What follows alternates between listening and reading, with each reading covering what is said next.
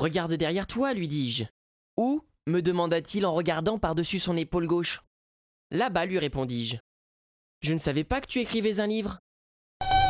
Ok, ok, je vais attendre que tu finisses de l'écrire. Eh, qu'est-ce que c'est? Cher Thomas et Moby, je dois rendre une fiche de lecture la semaine prochaine et je ne sais pas par où commencer. Aidez-moi s'il vous plaît. Lucas. Bon, voyons. Une fiche de lecture. Avant tout, je te conseille de prendre des notes pendant que tu lis. Note tes pensées et tes impressions au moment même où elles te viennent à l'esprit. N'oublie pas d'inscrire le numéro des pages se rapportant à tes notes. Cela te fera économiser beaucoup de temps, car tu n'auras pas besoin de revenir en arrière et relire le livre. Avant de commencer à écrire ton compte-rendu, il est préférable de rédiger un plan. Le plan est une liste qui t'aide à mettre tes idées dans l'ordre dans lequel tu veux qu'elles apparaissent dans ta fiche. C'est en quelque sorte le schéma de ta fiche de lecture. Une fois ton plan établi, tu peux enfin commencer à écrire. Commence par une introduction qui indique le titre et l'auteur du livre.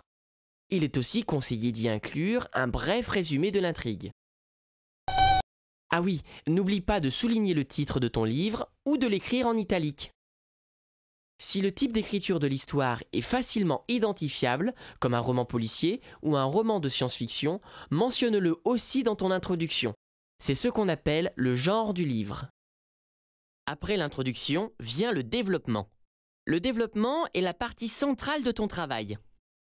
Il doit contenir une description du thème, du cadre, de l'intrigue et des personnages du livre.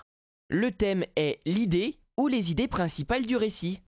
L'importance de l'amitié ou la lutte du bien contre le mal sont des exemples de thèmes. Le cadre du récit est le lieu et l'époque où se passe le récit. La majeure partie de la fiche de lecture doit être consacrée à la description de l'intrigue. L'intrigue est ce qui se passe dans le livre. Ce n'est pas la peine de raconter toute l'histoire en détail. Donne au lecteur assez d'indices pour qu'il puisse comprendre le reste de ta fiche de lecture. Oui, tu as raison, ne dévoile pas la fin de l'histoire. Ta fiche de lecture doit donner au lecteur envie de lire le livre dont tu parles. Et enfin, fais une liste des principaux personnages. On appelle le personnage principal le protagoniste. Et si le protagoniste a un ennemi, on l'appelle l'antagoniste ou l'opposant. Non, tu n'es pas obligé de parler du thème en premier et des personnages en dernier. À toi de choisir. Une fois que tu as fini avec ces quatre parties, il est temps d'écrire ta conclusion. C'est là où tu peux donner ton opinion sur le livre. L'as-tu aimé? Pourquoi? Que penses-tu de l'intrigue? Le recommanderais-tu à tes amis? Oh, tu as fini d'écrire ton roman? Fais voir. Hmm. Je pense que tu devrais faire quelques corrections.